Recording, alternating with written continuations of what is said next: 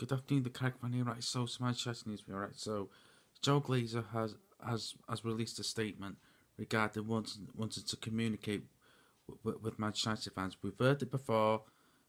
His, his and his brothers and family's words mean nothing. Just just just, sell the club and, and get out. As far as I'm concerned, we we've heard it all before. Go. We want you to go. Just go.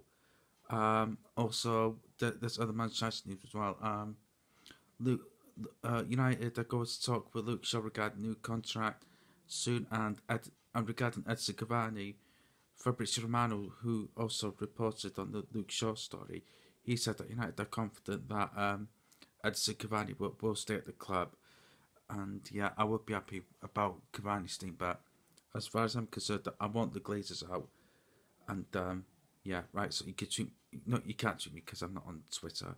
So you so you can subscribe to my channel, the the Carrick Fan. Comment below, like the video. Adios.